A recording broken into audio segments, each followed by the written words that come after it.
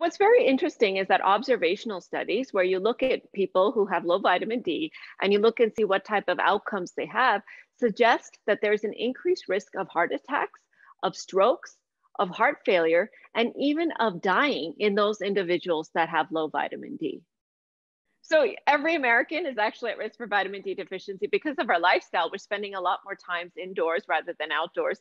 We wear sunscreen regularly, which we should to reduce our risk of skin cancer, but that puts us at higher risk of vitamin D deficiency. And then there's also certain populations that are particularly higher risk. So as you get older, your ability to synthesize vitamin D from sunlight starts to go down. If you're obese, as up to 40% of Americans are, then of course that excess fat can also affect your ability to activate and synthesize vitamin D.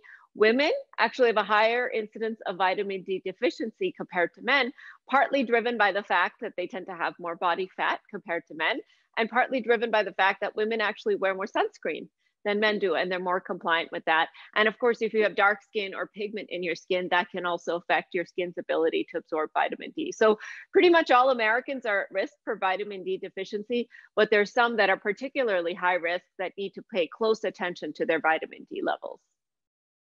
So vitamin D supplementation for a large proportion of Americans is probably recommended because the average American is likely to be vitamin D deficient. And what is recommended is usually about 1,000 to 2,000 international units or IUs per day. Now, for some people, that may not be enough if they're severely vitamin D deficient, specifically if your levels are below 30, then you may need to talk to your doctor about getting higher dose vitamin supplementation, almost like a loading dose to get you up to speed. And then you could switch to that lower maintenance dose of 1000 to 2000 IUs daily.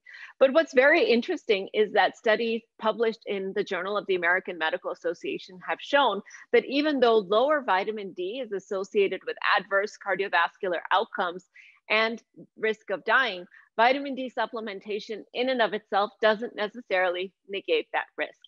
So it's a little bit of something that still has scientists scratching their head because we're not entirely clear what the relationship is. We know that low vitamin D is bad and it, you know, can and it's associated with increased risk, but vitamin D supplementation doesn't always negate that risk. So the way I like to think about vitamin D is really like a marker of risk.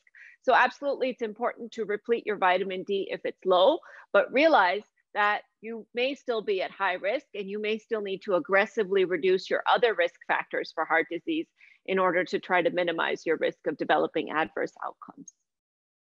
So the thing with vitamin D deficiency, it's not going to really present with symptoms. It's not going to tap you on the shoulder and tell you you're vitamin D deficient. So you really have to go looking for it. And the best way to know if you're vitamin D deficient is to get a blood test that measures your vitamin D. It's called a 25 hydroxy vitamin D level.